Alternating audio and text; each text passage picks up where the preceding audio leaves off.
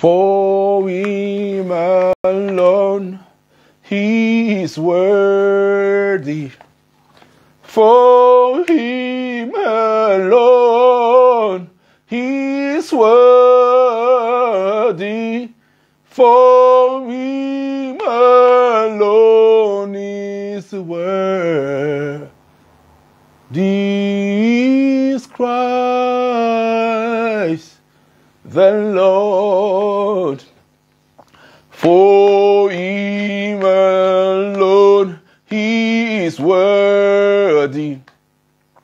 For him alone is worthy. For him alone is worthy. Is Christ the Lord. For him alone is worthy.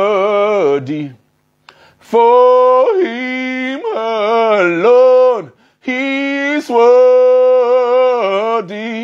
For him alone is worthy. He is Christ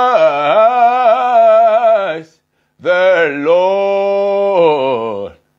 For him alone he is worthy. For him alone he is worthy. For him alone is worthy.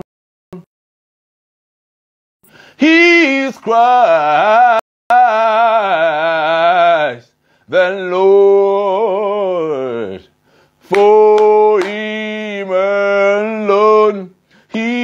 Worthy. For him, uh, for him alone he is worthy. For him alone is worthy. Is Christ the Lord. For is worthy. For him alone he is worthy. For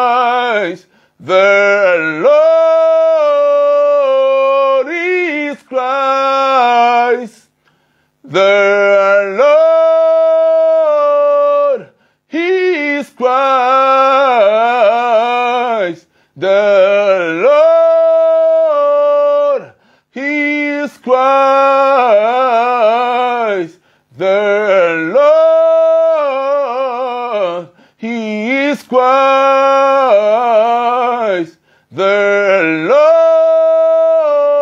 Lord. He's is Christ the Lord. For him alone he is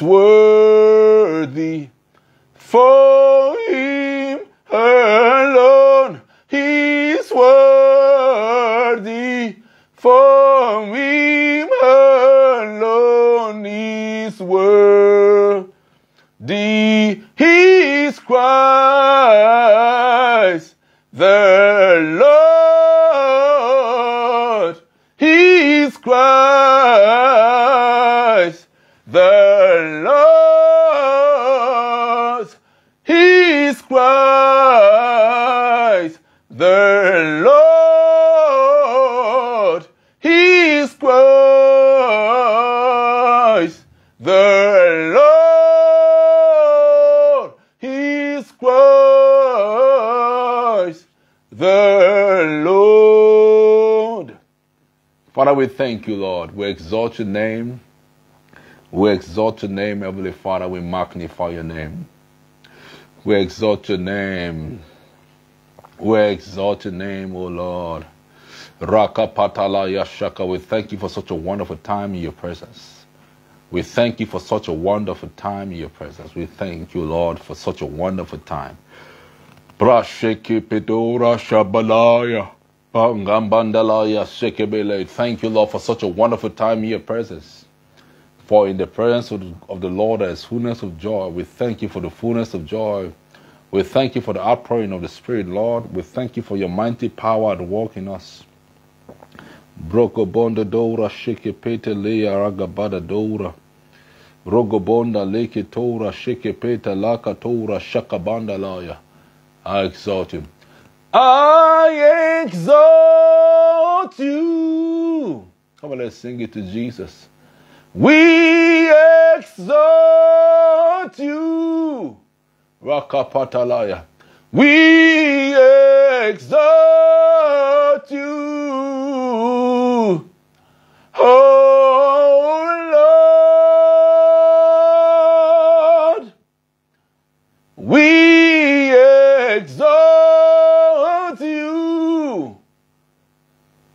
We exalt you. Let's sing it to Jesus. We exalt you. Hey, oh Lord. Father, we worship you, Jesus. Oh, Groshokobolo Yashakatalaya. Lord, I thank you for such a wonderful time in your presence. Lord, as your word come, let your word come with light, let it come with power. Let it come with transformation of power in the name of Jesus. As I teach, as I preach your word, I pray for light, I pray for insight, I pray for foresight, I pray for farsight, I pray for inspiration. Breathe upon me, O Lord, your breath in the name of Jesus. Every word that will proceed out of my mouth, O Lord, we come with power in the name of Jesus. The entrance of your word will bring life and establish wisdom in the heart and the ears of the listener in the name of Jesus. I take authority over the airwaves. I come against every contention of darkness against this presentation. It shall not prosper in the name of Jesus. Thank you, Heavenly Father. Let your name be glorified. In Jesus' name we pray. Amen. You're welcome to today's episode of uh, Prosper in the Market Square. I still remain your host. My name is Manasseh Dogon, also known as, known as the Prophetic CEO. I'm privileged to be the lead steward at the Renaissance Place Metropolitan Church. Hallelujah. Hallelujah. I'm privileged to be the the the the, the lead steward of the Renaissance Place Metropolitan Church, and I trust that God has a word for us today. The word of God is going to bless us today. You're welcome to today's episode of Prospering the Market Square. This is the program put together by the Holy Spirit. God specifically inspired this meeting for you and I in order for we to be able to get well equipped, prepare for that which God is birthing in the in the systems systems of the earth. Amen. In the corporate system, in the marketplace where we are, the things, the move of the spirit that God is about to to release in that system. So meeting like this helps to equip us with a vital set of knowledge we need to be able to uh, have for we to be able to be distinct, uh, distinguished among every other person in the market system. So the Lord is going to speak to us today in a very definite word. And I trust that our life will never remain the same. So please let's be open to receive specific instruction from the Lord today. The Bible said the Lord gave the word, but great is the company of them that publish it. So feel free, share this broadcast to your friends and family. Feel free to share it. Tag your friends, tag your family, and uh, your friends and family. And I trust that God is going to minister to them in a very dynamic way in the name of Jesus. Amen. Now, I'm going to be teaching on a very vital topic I call the science of uh, spiritual forecasting. The science of spiritual forecasting. Now, I must understand that every spiritual one of the greatest responsibility of the modern day church is to be able to incarnate scriptures into technology. Praise the Lord. One of the greatest challenge of the present day church or the contemporary age church is in our ability to be able to incarnate certain scriptural truth, revelation, reality, our personal experiences into technology. Because, you know, things are evolving and we must understand that every spiritual experience we have with God must be shouldn't just stay around our around our life. Amen. God's intention for we is for we to drive this culture, to take out our experiences with God to the corporate system. The nine gifts of the Spirit, the Bible mentioned in the book of Corinthians. I saw the twelve, uh, the nine gifts of the Spirit, the Bible mentioned, and the nine fruit of the Spirit, the Bible mentioned in Galatians. The fruit of the Spirit in Colossians, the the gift of the Spirit in Colossians, the fruit of the Spirit in Galatians, are all God's provision given to you and I, not just to enjoy our personal work with God, but also extend our personal experiences to the corporate system where that we begin to operate these giftings and those fruit of the spirit begin to find expression in the marketplace that the gift of healing the gift of miracle the gift of faith the gift of prophecy the gift of discernment the gift of healing you know, the gift of interpretation of tongues begin to find expression, amen, in our respective industries. So, and I trust, I trust that God is going to really help us to understand how to be able to plunge into His intention in this season, amen. So, every gift of the Spirit that God is giving to us are meant not just to be enjoyed in our lives. We are not meant to just enjoy it, yeah, but also we should be able to our the reality of the spirit that have become, I mean, the, the certain spiritual experiences or truth or law that have become a reality, living reality in our lives. Our responsibility is for we to, as we go about our day to day work, our day to day practice, we should be able to extend, take that very, our experiences. I mean, the, the gift of the Spirit, the fruit of the Spirit, so that as we begin to interface with the corporate system, our job description is for we to be able to use those gifts of the Spirit. To be able not in the church, we edify the church with the gift of the uh, uh, gift of the Spirit. But when we get to the world, we don't edify them. We act, actually impact them. We reveal the love of Christ through the manifestation of those gifts. So as we begin to operate in the gift of prophecy, and the gift of discernment, the gift of word of knowledge, word of wisdom. Now, how how can word of wisdom be effective in your corporate system? There are certain problems that will eventually arise in your industry, in your city, in your dispensation. There are certain crises, contemplation, puzzles that will come that will defy the, the best of man's knowledge and wisdom. That is when you begin to tap into some of those fruit of the Spirit. You know, there are limitations. Wisdom itself has limitation if it's not inspired by the Holy Spirit. So, the, so the, the, the, the word of wisdom and word of knowledge are some of the gifts of the Spirit, are gift of prophecy, are some of the prophetic gifts, some of the gifts in that God expects us as we go about our day to day business, we must explore and deploy the operation of those giftings in the corporate system. That in your organization, that in your industry, in your city, in the city where we are, where you are now, in the nation where you are, certain problems begin to come, certain puzzles, certain complicated crises begin to come that defy every logic, every basic principle of logic. You know, now that's when you begin to tap into the spiritual gifts, the gift of discernment, the gift of word of knowledge, word of wisdom. You begin to use them as supernatural ability to be able to reveal the love of Christ through superior intelligence. How that you can be able to be able to decipher problem in happening in that very ecosystem, and by the supply, by the uh, appropriation of the gift of discernment, the gift of word of knowledge, word of wisdom, and word of wisdom, you know exactly what to do in order for you to provide solution in that very uh, uh, contemporary system. Praise the Lord. Hallelujah. So I'm going to be teaching on a subject I call the science of spiritual forecasting. The word forecasting basically uh, simply means to predict future event or condition. The word forecasting simply means to predict future event or what or condition. And normally when you do that, you usually usually as a result of a study or analysis of available pertinent data. Basically, the word Forecasting basically it talks about the future, predicting the future. How can you stand on your in your present disposition, in the noun tense, in the present tense, and predict into the future tense with such level of precision and accuracy? Amen. Now, and the earlier we begin to the plan of God for us is not just to be aware of our now. We must learn to be futuristic in our approach to entrepreneurship, in our approach to, to the corporate system, to the workplace, I mean to, to the circular system, you know, to the industry, our various industry of operation, in the market ecosystem. We must be, we shouldn't just be aware of what is happening now, but by the reason of our revelational relationship with the Holy Spirit, that should be able to sponsor a level of spiritual uh, mastery that we're able to be able to see, not just to know of the things that are happening, but of the things to come. Praise the Lord. Of the things to come. Now, the Bible says in the book of 1 Corinthians, chapter 12, verse 32, it spoke about a tribe called the tribe of Issachar. That these are the men that had understanding of time and season. They were able to gain the mastery of time and sees it.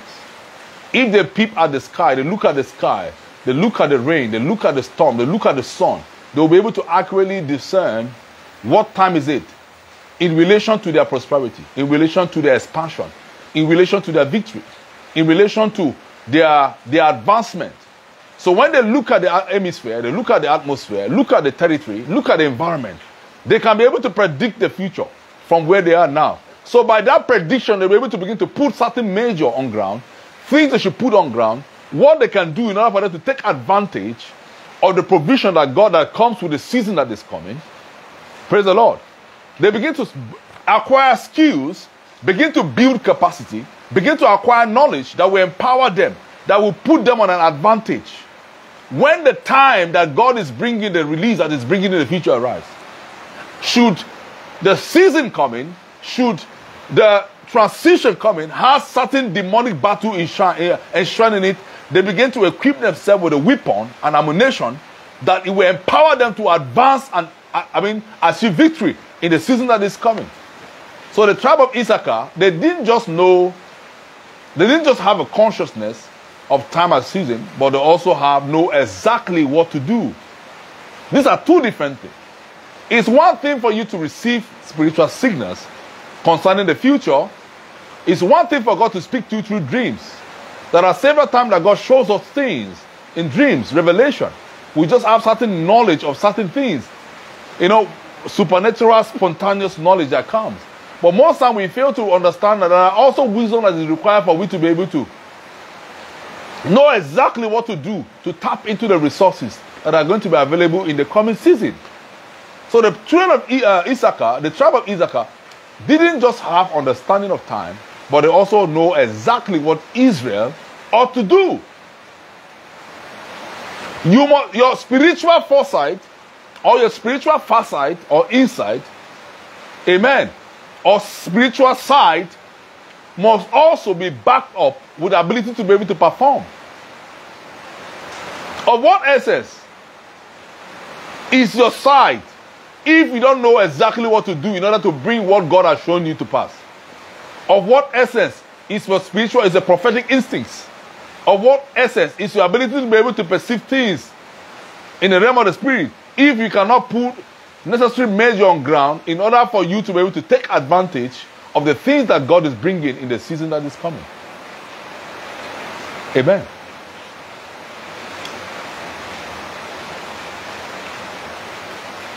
There are divine programming.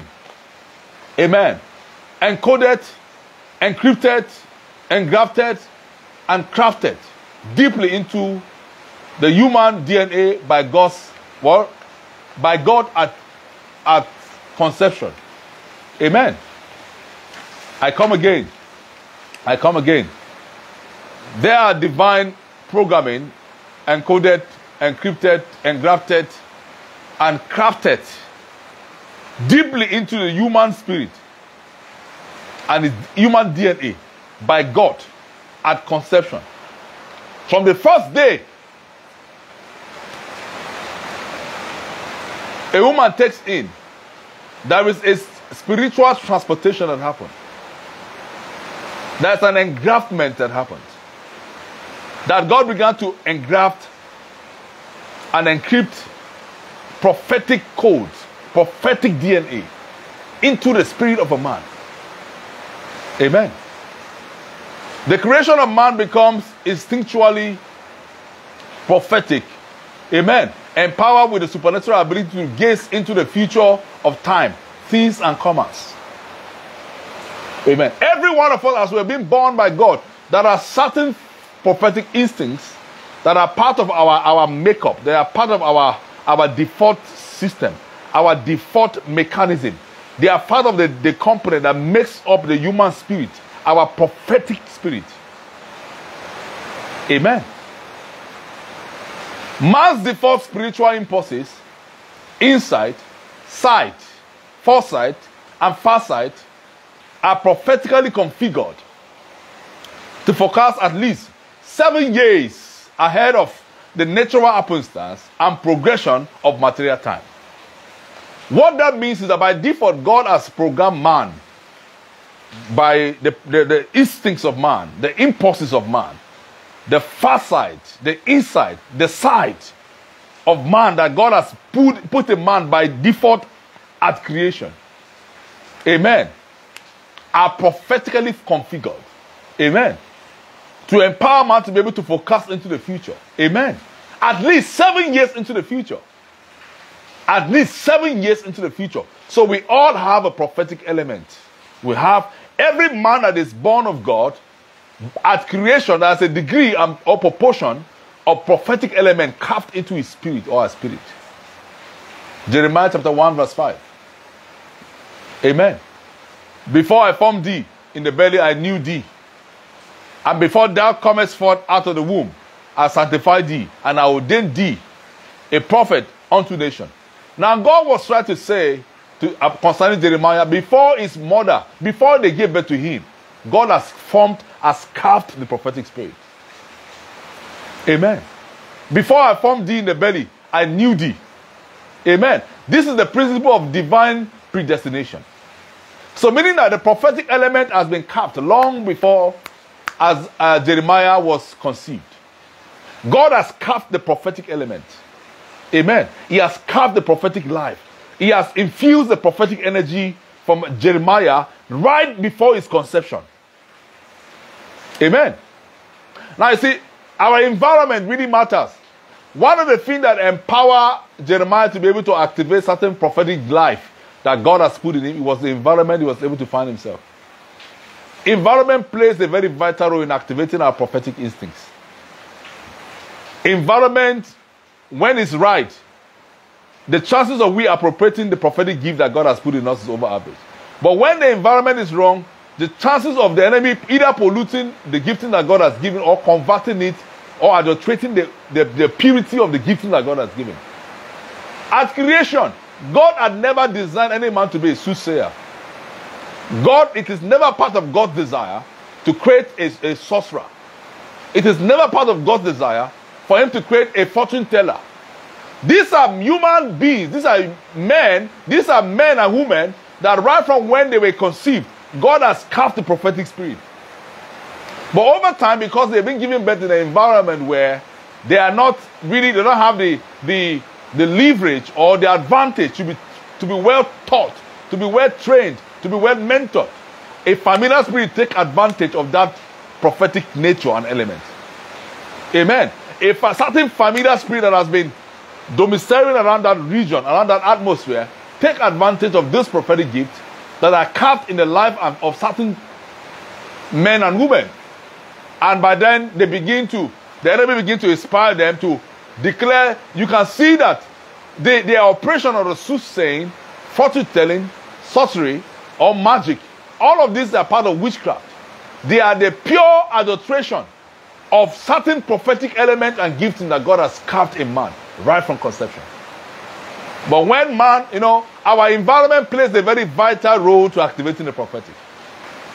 The environment you stay, the environment you hang around with, the environment you grow play a very vital role in activating your potential, your divine potential. So when a man that is being called into the prophetic, or a woman that is being called into the prophetic to be able to see, to forecast the future from the present tense, is unfortunate that is not privileged to be given birth in an environment where certain mentorship system is created, certain training structure is in place, certain uh, uh, uh, uh, scriptural based mentorship is program are, are being created. The chances of familiar spirit taking advantage of such a one is over average. So such a one, when the familiar spirit take advantage of this prophetic nature, prophetic life, or prophetic seed that is being planted or engrafted into the human spirit, they begin to operate on the contrary, the contrary adulteration of the prophetic in the form of soothsaying, fortune telling, sorcery, and all the other things. So Jeremiah was his prophetic assignment journey didn't begin at birth. It began right before conception. God had carved the prophetic spirit. He has carved the prophetic element. He has equipped him for the work that is ahead of him. God knew that there would be a time in his life as he operates in the earth realm that there will be a need for him to be able to tap into the future, peep into the future, to see the plan and purposes of God kept in the future, and begin to do in the now, begin to put in structure certain things in order for him to take advantage of the things that God has released or what God is bringing in the coming season. Praise the Lord. Amen. The prophetic spirit has been carved and crafted into us right from conception. Every one of us, to a certain degree, there are prophetic elements that God has put in us. There are prophetic life that God has engrafted in us. But this thing has not been well cultivated. Either they are not cultivated, or they are polluted, or they are not even discovered. God, by nature, designed you and I to be prophetic. Hallelujah. John chapter 3, verse 8. John 3, verse 8. The wind bloweth, or the wind blows wherever it wants, just as you can hear the wind but can't tell where it comes from or where it's going. So you can't explain how many are born of the Spirit. Meaning that everyone that is born of the Spirit has a prophetic element. You cannot design the wind, you cannot catch the wind, you cannot determine where it goes, you cannot predict the wind. Amen. The Bible says anyone that is born of God is like the wind. You cannot design, you cannot discern where the wind is going and where the wind is coming. So is everyone that is born of God, meaning that everyone that is born of God has a prophetic element. Because the unpredictability nature of the wind reveals a dimension of the prophetic. And the Bible says, if the Bible says that anyone that is born of God is like the wind, you can't discern where it's coming and where it's going, meaning that we all have a prophetic uh, uh, uh, life that God has put in us at creation. When we receive the life of Jesus into our life, that are created, that are prophetic uh, transmission that happens to our mind, that makes us not to operate life like manually, not to operate life manually, not to approach life like every other sensual human being. That our life becomes unpredictable. It becomes, it begins, it, the, the, the reading becomes prophetic. Everything about our life be, begins to change by the reason of we accepting Jesus into our life as our personal Savior. Amen. Everyone born of the Spirit has a degree and dimension of prophetic life, signature in his or her spirit. Anyone that is born again, amen, that received Jesus into his or her life as his personal Savior, amen, has a degree and dimension of prophetic life, signature in his or her spirit. Amen. Now, the, uh, the, the, programming of a prophetic spirit, you know, you will have to understand that there are, there are programmings of prophetic spirit. There are certain programming of prophetic spirit. Amen. And until we're able to be able to activate that, there are certain level of pred- prediction we cannot predict in the market. As we work in that corporate system, if the enemy can predict your next move, if the enemy can predict your next step, can predict your next future, the enemy can fight it. If the enemy can fight it, he can stop it. So our advantage is the operation of this, this, this programming, the programming of the prophetic spirit.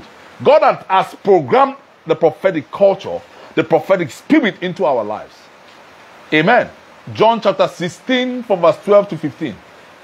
John 16, from verse 12 to 15. I have yet many things to say to you unto you, but ye cannot bear them now. Howbeit, and I mean that Jesus was speaking, talking, say he has so, so much to say. So, so much time will not be allowed. The greatest limitation that stands between the revelation of God and man is time. It's time. And why, why time, time normally, time was not, time is not supposed to limit the revelation of God's will, but because man is, has been created to function within the corridor of time. So time by default be, be, became, uh, becomes one of the greatest limitations of the revelation of the Spirit of God within the realm of man. So Jesus said he has so so much to say. He has so much to reveal. He has so much to say. The time is not limited. The time is not is not is not going to be enough. He has so so much to say. But yeah, they cannot bear it. You cannot comprehend. They cannot comprehend it. They cannot comprehend it. There's no time, and their comprehension is very minimal. Now look at verse 13. Howbeit, when he, the Spirit of truth, is come, he will guide you into all truth. Meaning that the Holy Spirit, when it comes, he guide us into all truth. And the truth that the Holy Spirit is guiding us to is not the truth that is behind us. Neither is it the truth that is in our present tense. It's talking about future truth.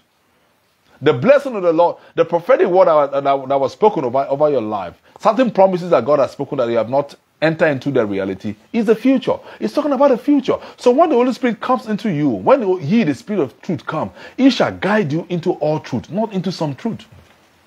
Meaning that we, as, as we begin to work in the corporate system, in our respective place of assignment, amen, industry of spiritual assignment, we are not supposed to be in the dark.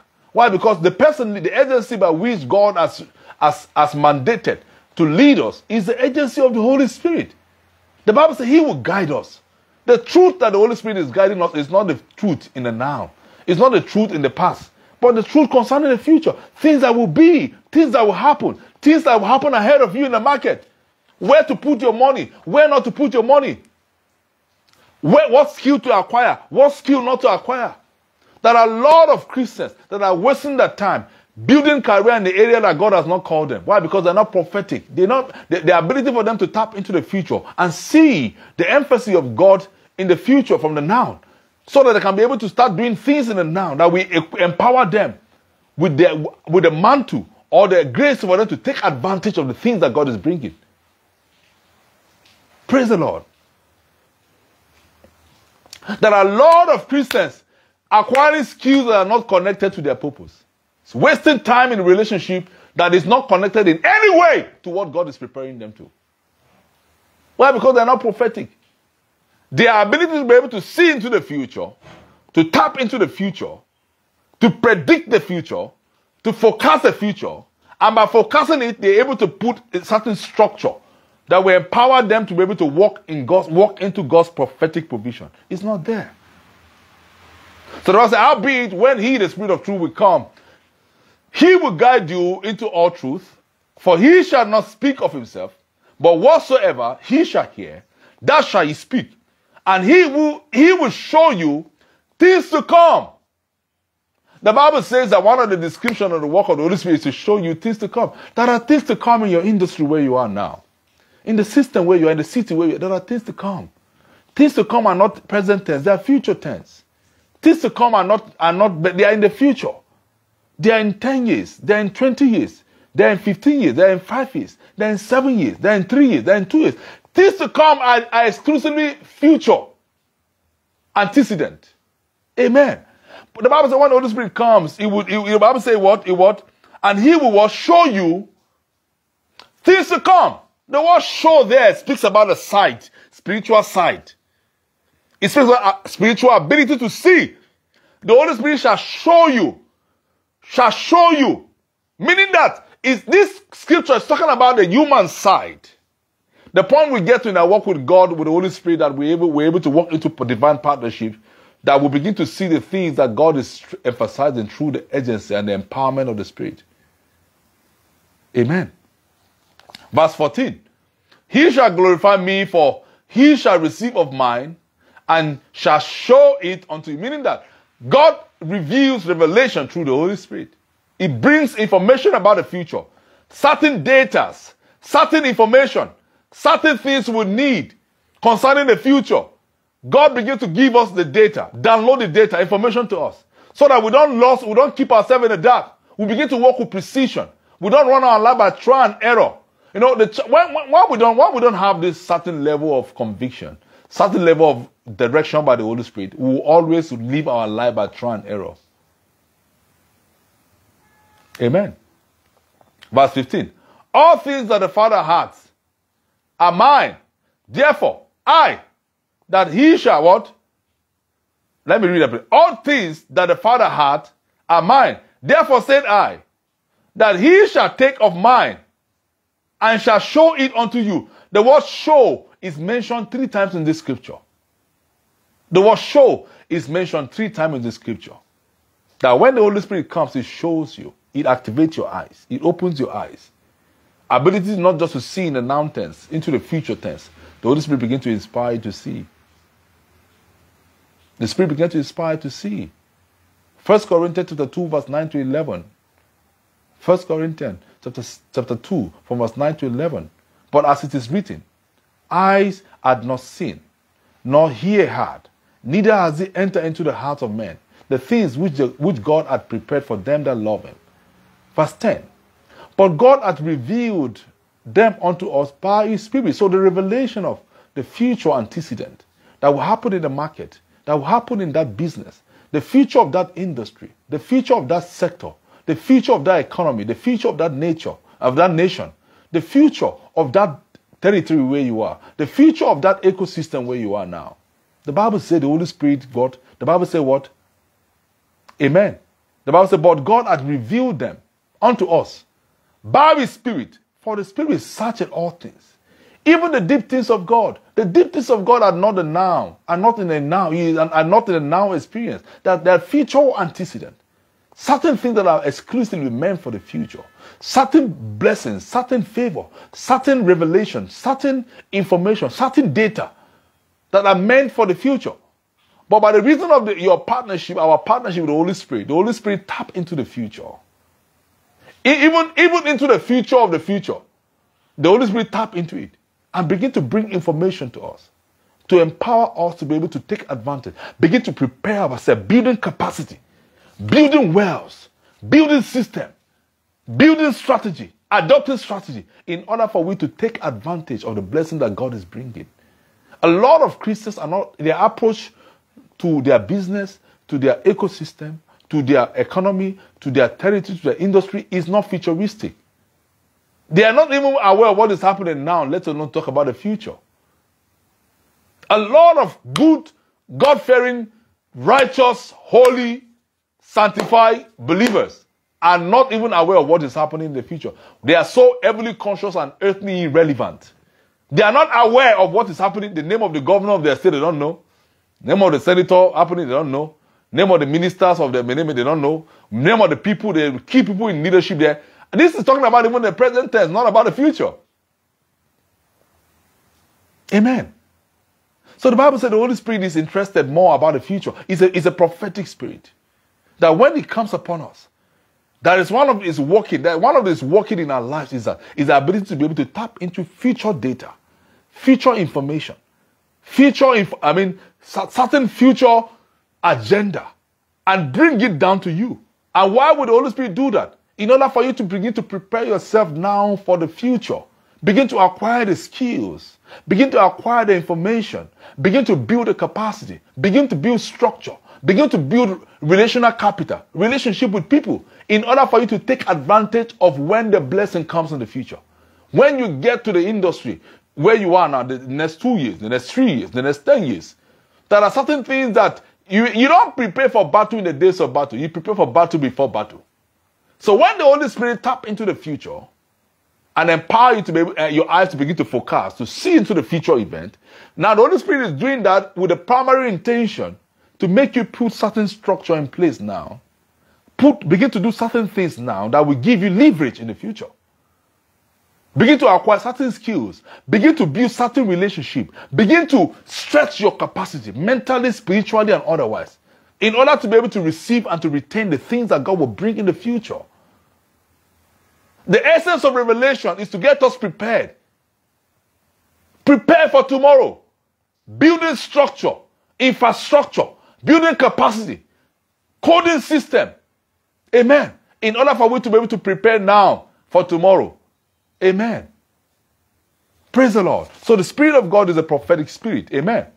Verse 11 For what man knoweth the things of man, save the Spirit of man which is what in him. Even so, the things of God knoweth no man but the Spirit of God. The Holy, I mean,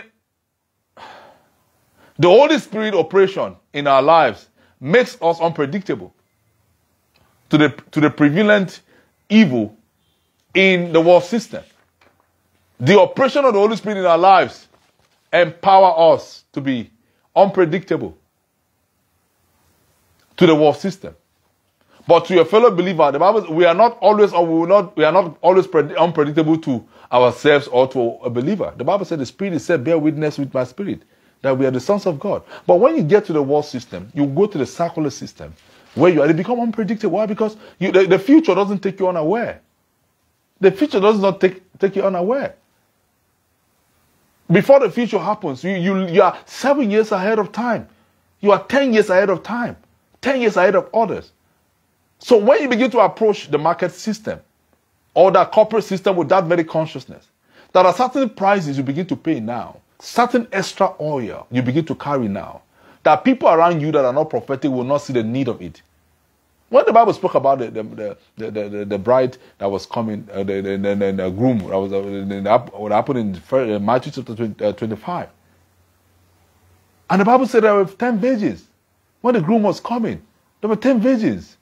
Five was foolish, were foolish. Five were wise.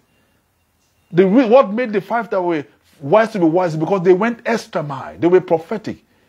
God, God inspired their, their eyes for them to see what is happening, what will come, and the things that are required for them to structure now, to put now, so that when the opportunity comes in the future, it will not take them unprepared, taking them unaware. So the five virgins were foolish because they, they didn't went extra mile. When the others are going extra mile, they didn't see any need. So when the future, when they eventually walked into the future, when the groom came, the Bible mentioned that the ones that were wise were able to take advantage of the blessing, of the opportunity that comes to that season. While the ones that were foolish were taking off the whole scene. They had to go and start buying extra oil. And before they could go, the opportunity that was meant for them in that season was taken away from them. It was stripped off them. Now, the the importance of we forecasting the market is that God begins to inspire us with wisdom to begin to do things, put structure in our lives, build capacity, do certain things extra mile. If the person that you're working with, your colleague, doesn't see the future, he may not be able to start doing the things that we need to do to prepare him. Amen. To take advantage of the, of the future. Amen. So I'm going to stop here now. Amen. So that tomorrow we get to continue from here. This teaching is a whole, I'm just introducing the topic. Your life will never remain the same. Your life will never, never remain the same. I pray that may your spiritual eyes be activated in the name of Jesus. May your spiritual eyes, your ability to see into the realm of the spirit be activated. So that the capacity that you need to build, you begin to build them. The capacity you need to build, you begin to build, and the skills you begin to you need to acquire, you begin to acquire them the, the, the relationship you need to begin to make, you begin to make them. In the name of Jesus, I pray for you that let the hand of God be mighty over your life. In the name of Jesus, let the ability of the Spirit come upon your life. In the name of Jesus, let your mighty power come upon this one. In the name of Jesus, every spiritual blindness, I crush it in the name of Jesus. Every form of spiritual blindness, by the authority in the name of Jesus, I destroy, I terminate. In the name of Jesus, I command your eyes be open. Every veil is consumed. I command your eyes be activated. In the name of Jesus. Thank you, Heavenly Father. In Jesus' name we pray. See you tomorrow. The Lord bless you.